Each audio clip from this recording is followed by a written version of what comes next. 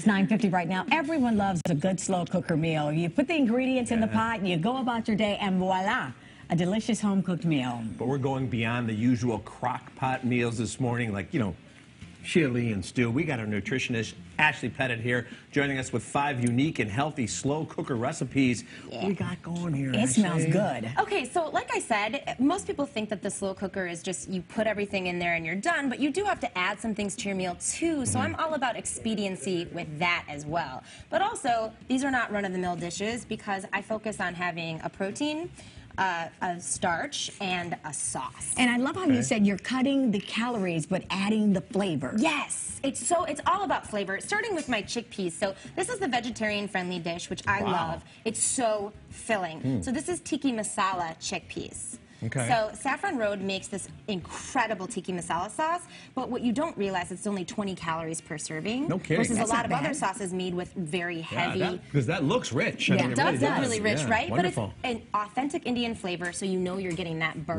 Love of what you need. Love that. It's gluten-free, vegetarian, non-GMO, all the important things Mm-hmm. that you need. But it's a simmer sauce, so you can simmer the chickpeas in there Okay. with that. Good deal. And you've nice. got the rainbow But going on base, you here. ha- can't forget the base though. This is the one thing with the rice. I have to add the rice because it's going to add more filling. With Yeah. Annie Chun's, it's microwavable rice that's gluten free, but it's also got a really, really good flavor. Nice. Sometimes you overcook rice and Right. it doesn't taste Yeah, very good. it's starchy. But I love it. It's one minute in the microwave. It's so convenient. So that's And it's base. healthy too because it's brown rice. Okay, So we got to keep it healthy. going. We're okay, going to start with this one. we've got chicken teriyaki. So I use San-J sauces, which there's teriyaki, there's tamari, authentic Asian flavors. Again, you're getting that bold, bold flavor without Mm. Right. the gluten, non-GMO ingredients. That's what's so important. And then it's chicken, pineapple, and broccoli. So that broccoli is going to add that fullness. That's a nice meal. little mixture too in the pineapple to give you know, kind of a little Sweetness for the punch to it. teriyaki Yeah, sauce. Yes. That's my favorite thing. Nice touch. Okay, the I know. man meal. Sweetness. the man This meal. sweetness. Okay, so buffalo sauce here I have, and I Mm-hmm. love because it's football season, and I love football. Maybe not the Bears right now, but football. Mm-hmm. So I made chicken meatballs, and all I had to do was add buffalo sauce to it and cook it in the slow cooker for six hours. That's it.